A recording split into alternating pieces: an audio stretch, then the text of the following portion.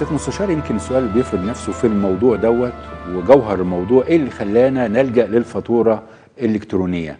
إيه هي المشكلات اللي كانت موجودة؟ تمام. وإزاي هيستفيد الممول منها؟ تمام. قبل ما هنسأل في نفسنا زي ما حضرتك قلت كده إيه اللي يخلينا نروح للفاتورة الإلكترونية؟ طب هي الفاتورة الورقيه كانت بتعمل مشاكل؟ آه طبعا كانت بتعمل مشاكل. يعني يعني والسادة المحاسبين هيقدروا يعني إيه ينضموا معايا في هذا الموضوع عشان هم بيعانوا من أمر دوت. صحيح. ليه بقى؟ النهارده أساسا إيه مميزات الفاتورة الإلكترونية؟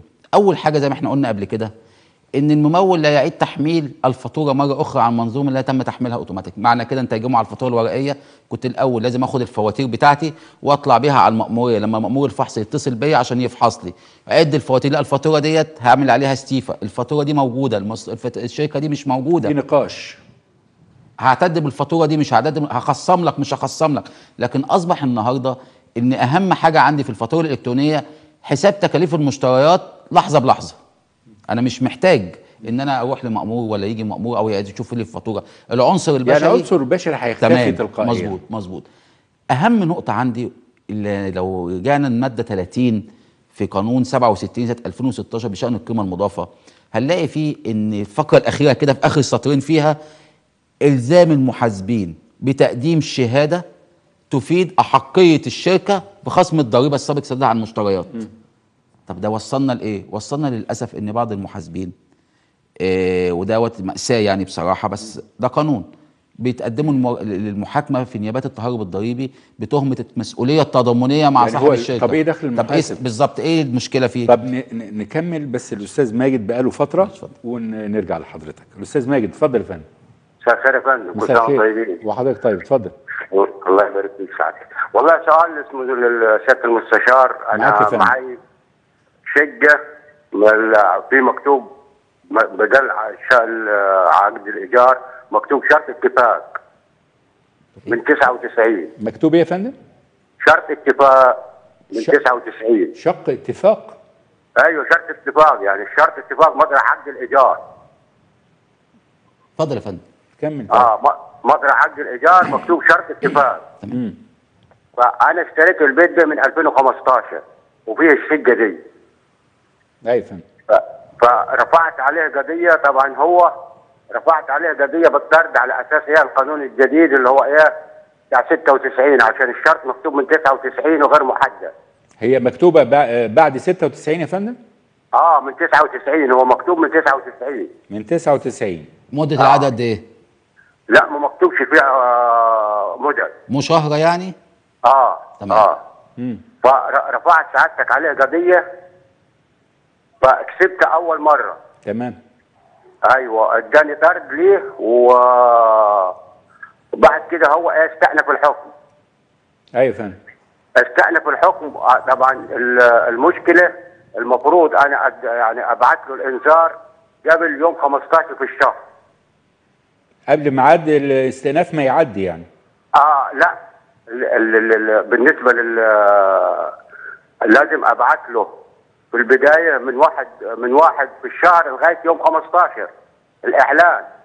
أيوه فندم. فالمحا... المحامي بعت يوم 27 اتأخر يعني. آه بناء عليه هو استند فيها في ال- آه، عليه في الحكم وراح إيه اتلغى الحكم الأولاني اللي أنا خدته عليه بالطرد أيوه فندم.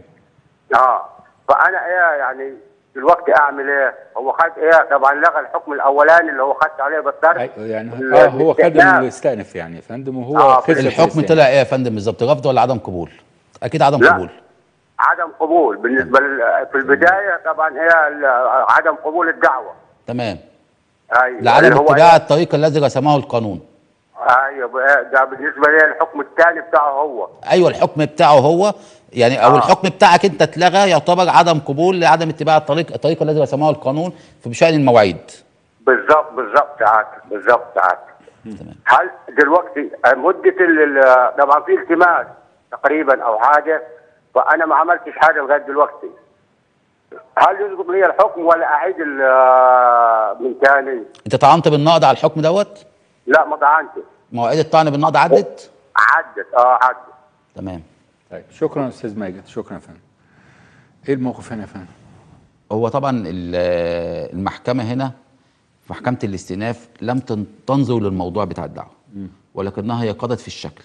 في مواعيد معينة لازم في النص الثاني أو النص الأولاني في الشهر بيكون أعلن أو إجراءات معينة إجراءات قانونية- شكلية يعني. إجراءات شكلية لابد منها. فبناء على الحكم بيطلع فيه مش رفض في الموضوع بيديله عدم قبول. عدم قبول؟ طب وعدم القبول ده ما يحقش ليه؟ أنا أنا خدت عدم قبول. هل ممكن أرفع الدعوه نفسها ولا ينفع لا؟ ينفع ينفع بنفس بس الموضوع؟ بنفس أصل هو النهارده مش هيقدر يدفع بعدم جواز نظر الدعوة سابقه الفصل فيها لأن الموضوع أصلا لم يفصل فيه لم بحكم يفصل نهائي. آه آه. الموضوع لم يفصل فيه بحكم نهائي. لكن هو الإجراء كله كان إجراء شكلي لم يتوخاه المدعي أو المستأنف ضده وبناء عليه خسر دعواه. صحيح. فممكن يرفع الدعوة من أول وجديد تاني. آه خصوصا إنه عدى ميعاد النقد ما كمان خلاص آه ما فيش طعن بالنقد طب ما الالتماس إعادة النظر ده إيه يا فندم؟ التماس إعادة النظر ده في خلال 40 يوم من تاريخ صدور الحكم الاستئناف وينظر أمام نفس الدائرة اللي اصدرت حكم الاستئناف. كان من حقه بقى. ولازم يكون في أربع حالات أو خمس حالات على سبيل الحصر. لازم تنطبق عليها الموضوع ده. فما ينفعش يعني. أكيد اللي هو بيتكلم فيه ولا حاله من حالات التماس إعادة النظر. طيب. نرجع للموضوع المهم يا فندم اللي هو الخاص ب إيه، إحنا ليه لجأنا الفاتورة الإلكترونية وإيه مميزاته وخطورة الموقف اللي حضرتك قلت عليه اللي هو المحاسب يوصل تمام تمام. النهارده بي- زي ما وصلنا قلنا إيه؟ إن المحاسب بيقدم شهادة للمأمورية أثناء الفحص بخ... بإعادة حساب التكاليف المشتريات عشان خصم الضريبة. فيجي المم... المأمور يبعت المفاتيح ديت استيفا ليتحرى عن الشركات اللي موجودة. الشركة تكون مسجلة في قيمه قيمة مضافة. مسجلة في ضرائب عامة ليها سجل تجاري بتقدم إقراراتها بانتظام بتسدد الضريبة عليها ولكنها مصنفة ضمن الشركات الوهمية. وبالتالي الاستيفا بتاعتها بتيجي اسمها استيفا سلبية. ولا يجوز هنا خصم الضريبة عليها. في حاجتين بيحصلوا إيه معاهم الموقف هنا؟ الموقف بيحصل إيه؟ أول حاجة بيطلع حاجة اسمها فروق فحص على الشركة. وفي ظل أحكام القيمة المضافة وضريبة المبيعات برضه. بيوحل نيابة التهرب الضريبي. الشركة والمحاسب القانوني مسؤول مسؤولية ضمنيه عشان الشهادة اللي هو مقدمها. فأصبح النهارده لما أنا بقدم فاتورة إلكترونية أنا عملت تعطيل ضمني لنص المادة 30 اللي موجودة في القانون 67 سنة 2016 ده أكبر ميزة دي الفاتوره ليه بقى. إن أنا النهارده لا هقد... أنا كمحاسب قانوني لا هقدم شهادة ولا هروح المأمورية أقول لهم خصموا ليه؟ اوريدي أساسا حساب التكاليف موجود على المنظومة. على المنظومة. لو الشركة اللي أنا تلقائياً. دخلت الفاتورة بتاعتها دي شركة وهمية المنظومة مش هتقبلها. نازل بقى منشور. أقول لل- للشركة الوهمية شكرا سلام عليكم. إن أنا بعتبر الممول بأمانة في الأمر دوت هو مجني عليه. إن النهارده يتحمل عبء إصدار الفاتورة من مين شركة بي... وهمية. مين بيتحمل عبء الإثبات يا فندم؟ هل المصلحة ولا الممول؟ بص أقول لحضرتك على حاجة. هي نقطة خلاف. ونشكر ربنا إن القضاء معظم الأحكام فيه حسمها لصالح الممول. تمام. طبقا للتعليمات الصادرة زمان من مصلحة الضرائب أن يتحمل عبء إصدار الفاتورة من شركة وهمية. المصلحة وليس الممول. إن عبء الإثبات يقع على عاتق المصلحة. إن هي المفروض تقوم والتحري عن الشركة المصدرة للفاتورة قبل تسجيلها في القيمه المضافة أو ضريبة المبيعات. ولكن مصلحة الضرائب لا تعتد بذلك. وتعتبر من الجرائم دلوقتي اللي أصبحت مخلة بالشرف في ظل قانون الإجراءات الضريبية الموحد وبتروح نيابة التهرب الضريبي. فدي المشكلة. فإحنا رأي الحمد لله الفاتورة الإلكترونية ريحت الموضوع شوية خلينا نخلص القديم والجديد اللي جاي. هتقلل ده. هتمنعه هتمنعه. مفيش خلاص حاجة اسمها شركة وهمية. ما شركة وهمية تطلع فاتورة إزاي؟ ما لازم هتسجل على المنظومة. ما هي شركة وهمية مش اذا هتسجل. الممول يعني منتظر بفارغ إلا إذا كان بقى بالظبط إلا إذا كان الممول بقى عايز يتعامل مع شركة وهمية بفاتورة بفاتورة ورقية قديمة وبرضه مش هي مش هيستفاد حاجة عشان هيجي في بعد كده في 2022 هيقدم الفاتورة الورقيه دي. قالوا له أسا حتى لو شركة وهمية أو شركة. سليمة لا يعتد بيها. تمام. الأستاذة سميرة اتفضلي يا فندم. أستاذ سميرة. أستاذ سميرة معانا؟ أيوه. اتفضلي يا فندم. ما شكرا يا حبيبي. اتفضلي طب, حضرتك. طب تسمع بقى أنا ليا مشك... مشكلة أخويا في مصر. اتفضلي.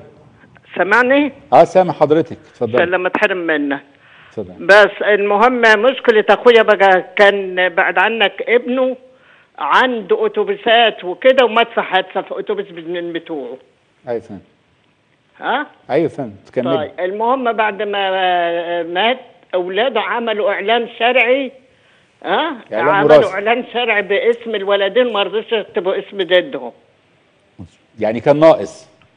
المهم آه، اديره 22 شهر. بيجري على الورق أخويا من هنا 22 لهنا؟ وياخدوا 22 منه شهر يا في, فندم؟ الت... في التأمينات. أستاذة سميرة. وما فيش فايدة في بيخلصوا له حاجة. أستاذ سميرة. اديله 22 شهر. آه، الأسبوع اللي فات ده راح. تعالى يوم الاثنين. تعالى بعد أربع ثلاث ثلاث أسابيع. المهم حنضروه هو كبير في السن المهم راح آخر مرة الأسبوع اللي فات ده قال له لا مالكش ولا حقوق ولا حاجة آدم بتاخد معاش ليك ما- مالكش حق تاخد معاش تاني. علشان مش موجود في الإعلام الشرعي يا فندم؟ إعلان الشرع عاملينه الولدين باسمهم طب ما عملتوش ليه تعديل يا هو فندم؟ راح قالوا له ينفع. طب سيادة المستشار فاخذ خد الإعلان الشرعي من الولدين سم... وراح. أستاذ سميرة. ها؟ أستاذ سميرة حضرتك سامعاني؟ أيوه يابا طب أستأذن حضرتك سيادة المستشار هيتواصل هيكلم حضرتك بس جاوبي على الأسئلة بتاعته علشان نقدر نرد على حضرتك. على آه زي آه يعني بس يا فندم. اسمع بص ما يا هو فندم بيكلمك. يا فندم اتفضل. هو اللي, أخفى اسمه في اعلام الوراثة أنتوا أضفتوه بعد آه كده؟ كتبوا العيال كتبوا اسم الاثنين باعوا الأتوبيس وباعوا أتوبيسين وباعوا. عربية وباعوا شقة في اسكندرية. تمام تمام. يعني في جد المفروض كان يبقى اسمه موجود في اعلام من الوراثة؟ غير ما يحطوا اسم طب ما ده. تزوير يا فندم. ها؟ ده تزوير مش سامع على تزوير تزوير ده ت- تزوير آه. يعني أنت- أيوه هو تزوير برافو عليك. ماشي ما ما عمل يعني فين؟ طب هو أخويا بقى زعلان وخرب الدنيا. يعني هو ب... بص يا فندم أقول لك حاجة. أنتوا آخر حضرتك مرة بقى قالوا له واد مالكش آه، حقوق خالص ولا ليك؟ اللي بياخد معاش ما ياخدش اتنين. هو المشكلة دلوقتي في المعاش؟ المشكلة المشكلة في المعاش ولا المشكلة في الاعلام الوراثه موضوع آه، المعاش دوت موضوع المعاش. هناك هناك في المعاشات. يا تمام. في سميرة. جبلوه. أستاذ سميرة. آه. إحنا دلوقتي هنتكلم في الموضوع فيه شقين شق المعاش وشق إنه آه، لم يذكر في إعلام الوراثة. حتى الوراثة. هيتكلم آه في. حضرتك آه، هيرد على حضرتك في الشق دوت. آه. بص يا فندم حجب شكرا أستاذ سمير حجب أحد الورثه الشرعيين الذي لهم حق الميراث دي جريمة يعاقب عليها القانون. وتحرك الدعوة الجنائية يعني الواضح إن هم أسقطوا اسمه؟ تمام آه طبعا. وب... ما هو وعملوا بيع كمان. وعملوا بيع وتقريبا قسموا الميراث وباعوا الأتوبيسات زي ما بتقولوا الكلام ده كله. طبعا طب إيه. الإجراء اللي اتخذ هنا فندم؟ دعوة جنائية طبعا ده, ده دي جريمة. يعني أستاذ سميرة اسمعي سيادة المستشار ده خطوة خطوة. حجب حجب أحد الورثه الشرعيين الذين لهم حق الميراث الشرعي دي جريمة يعاقب عليها القانون. وت- وت- وتحرك الدعوة الجنائية. تزوير في آه طبعا. آه طبعا. أنا أنا ام- امتنعت عن ذكر إضافة اسم الجد اللي أصلا هو صاحب الميراث الأصيل. يعني الأصول ده الأصول بتاعتي. طب هل يعني دلوقتي يرفعوا دعوة تزوير؟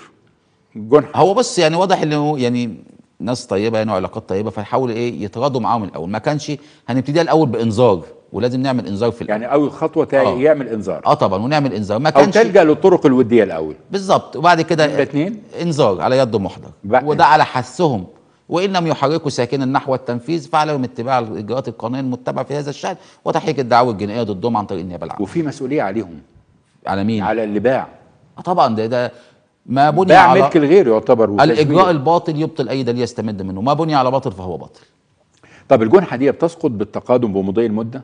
آه طبعا آه طبعا. زي زي أي جنحة. بس بتقول لك 22 شهر يعني تقريبا قد إيه؟ سنتين تقريبا. يعني لسه. آه. تمام. الأستاذ من ويلسون تاريخ علمه. يعني برضه من تاريخ نقطة العلم. مهمة دي. آه من تاريخ العلم. يعني المفترض أنا علمت إمتى؟ علمت ما أنا إمتى ممكن إن النهاردة- أنا اسمي ما جاش في بالظبط أنا ممكن أكون النهارده معمول إعلام الوراثة وأنا ما دوحتش ولا جيت ولا أعرف حاجة. مجرد ما أعلم. فهي أوكي بتعلم. هي عارفه إعلام الوراثة من إمتى؟ 22 شهر تقريبا سنتين. لسه. تمام. يبقى أستاذ سميره الخطوات اول خطوه اللجوء للطرق الودية بالنسبة للمعاش. برضه الشق الثاني بتاعها اللي هو بالنسبة للمعاش أيوة. والتأمينات والحاجات ديت هو القصة لو هو بياخد معاش ما ينفعش يجمع بين معاشين مع بعض نفس الوقت. ولكن أنا أعتقد يعني إن هو في أصل دي بتبقى تعليمات للمص... للهيئة العامة للقومية والتأمينات. المعاش الأكبر هو اللي بيستحق عليه. آه يعني بياخد الفرق بينهم. يعني مثلا على سبيل المثال لو معاش ب 100 ومعاش 150 فبياخد المعاش الأكبر المستحق له ال 150 جنيه. ايهما أكثر يعني. بالظبط الأستاذ ويلسون اتفضل يا فندم. أيوه. اتفضل يا فندم. أيوه مساء الخير. أهلا بحضرتك يا فندم اتفضل لو سمحت أنا من سوهاج. أهلا بحضرتك. عندي حتة أرض في قريه في الزراعة. الايه يا فندم. حتة أرض في القرية زراعيه أيوه فندم. بعتها لواحد. فجالي عليها ضرائب. وأنا شفت في النت إن القرية في الأرض الزراعيه في القرية ما عليهاش ضرائب. فعايز أعرف الحقيقة إيه. هو مين اللي قال لك عليها ضرايب يا فندم؟ اللي بتوع الضرائب باعتين لي جوابات بيها وبيهددون أستاذ ويلسون الصوت بيقطع.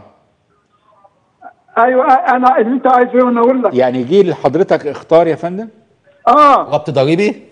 إخطار ضريبي آه. طب أنا أستأذنك ممكن تتواصل معايا بعد الحلقة؟ طيب ممكن تسيب آه، تليفونك يا فندم في الكنترول؟ حضرتك فين؟ في سوهاج يا فندم؟ ما هو اللي بكلمكم منها ال zero لا من غير ما يا تقول أستاذ ويلسون سيب حضرتك الرقم في الكنترول وهنتواصل وقول. لنا مأمورية إيه بس بعد إذنك. شكرا. سيادة المستشار هنتكلم برضو في المميزات التانية اللي حضرتك يعني بتقول إنه في افردت العديد من النقاط المهمة بالنسبة للفاتورة الإلكترونية. بالظبط. فزي ما قلنا إحنا بنتكلم كمان في نقطة في منتهى الأهمية. إيه هي؟ النهارده أنا ببيع واشتري بفاتورة إلكترونية عن طريق المنظومة. فأنا بقضي على حاجة مهمة قوي هو العنصر البشري في التعامل مع المنشأة أو الممول. وهنا هنلجأ قصة إيه؟ الفحص الإلكتروني. إيه هو الفحص الإلكتروني؟ أيوه إيه الفحص؟ النهارده أنا عندي مثلا شركة بتتفحص عن سنوات كذا وكذا وكذا. فكان المحاسب القانوني والشركة ياخدوا الفواتير وياخدوا المستندات وياخدوا وياخدوا ويطلعوا على المأمورية وزي ما قلنا المأمور يشوف المستند عجبه ما عجبوش استيفا جاية عليه إيجابية سلبية يستبعد ويجي. النهارده أنا مش محتاج التعامل مع مأمور الفحص بالتواجد معاه في المأمورية أو المجي ليه المقر الشركة. هيبقى تواصل خلاص إلكتروني. بقى أنا بقى أنا كده بقى أول خطوة في طريق الفحص الإلكتروني. فأنا هقضي برضو على مشاكل كتيرة كانت بتواجه الم... ال- أصحاب الشركات والممولين في أثناء الفحص ان ربما كان ربما كان ممكن يحصل تعنت وإحنا عارفين إن عنصر البشر وارد فيه الأخطاء. خطأ، صح، بالظبط. فإحنا بنحاول على قد ما نقدر بنقلل الأخطاء دي. وأنا شايف إن الموضوع دوت فعلا ممكن يقضي على الأخطاء بنسبة كبيرة جدا تتعدى 80% آه، معانا تليفون الاستاذ أمير. اتفضل يا فندم. مساء الخير يا أستاذ نشأت. مساء الخير يا فندم. أهلا كل بحضرتك سنة وأنتم طيبين. وحضرتك طيب يا فندم. في عندنا حضرتك آه، محل مستأجراه أنسة من سنة 62 أيوه يا فندم. و وجه أخوها سنة 94 عمل معاها عقد شراكة. تمام. عقد الشراكة خد خد رفض من المحكمة. مم. آه 2013 اتفاجئنا إن هو جاي بيفتح المحل ومأجره لناس تانية ملابس. مأجره من الباطن. مأجره آه من الباطن ملابس. فندم وبعد كده أنا لما عرفنا في 2013 مم. آه ما خدناش منه إيجار طبعا. هو كان بيجيب الإيجار لأنه معاه توكيل من أخته. مم. أخته اتوفت 2001 وما. نعرفش إنها توفت. أيوه يا فندم 2013 عرفنا إن هي توفت. أيوه وبعد كده هو توفى في 2017 أيوه الدعوة بقى اللي نعملها دعوة إيه؟ انهاء و- وع- والمين نعملها هو مين اللي موجود في المحل اللي موجود في المحل ناس غريبة مين الناس الغريبة علاقتهم إيه بال- بالمستأجر أو شقيق لا المستأجر؟ هو العلاقة بقى إن اللي هو أخو المستأجرة الأصلية آه عنده بنتين بيقولوا دي هم من حقهم إن يورثوا يورثوا في إيه؟ في المحل يعني. قرايبهم في إيه يعني صلة القرابة إيه بينهم؟ ال- لا هم مش مش مش قرايبهم الموجودين في المحل مش قرايبهم. شكرا ده بيعتبروهم إيه؟ ناس شغالين يعني أو بيديروا المحل. وحضرتك ما أخدش إيجار من 2013 من 2013 إحنا رفضنا طب يعني حد بيودع المبلغ ده في المحكمة؟ بيحطوا بيحطوا في المحكمة. يعني لحد؟ دلوقتي؟ باسم مين؟ باسم باسم المستأجرة الأصلية. المتوفاه آه. إزاي؟ أو بيحطوه باسمها في تمام. المحكمة. طيب، بس شكراً. إحنا ما بناخدوش يعني. تمام يا فندم. شكرا أستاذ ويلسون إيه الإجراء اللي اتخذه هنا وإزاي ياخد طبعا دعوة؟ طرد؟ للغصب. اسمها دعوة طرد للغصب آه طبعا. أنت الموجودين في قلب العين دلوقتي ليس لهم أي صفة في حيازه العين أو ال- الاستفادة منها فدعوة طرد للغصب طبعا ما أنا مش لاقي أي طب إيه خطواتها يا فندم؟ يعني ده برضه بيبقى إنذار لا دي ما فيهاش إنذار. دعوة طرد للغصب ترفع مباشرة أمام المحكمة. أنذر مين؟ انذر واحد مغتصب العين مغتصب آه تمام. ست مستشار إذا ندخل الفاصل وهنكمل موضوعنا عن إيه هو الفرق بين الفاتورة الإلكترونية والورقية واللي هو الريسيد تمام. أعزائي المشاهدين فاصل ونتواصل مع حضراتكم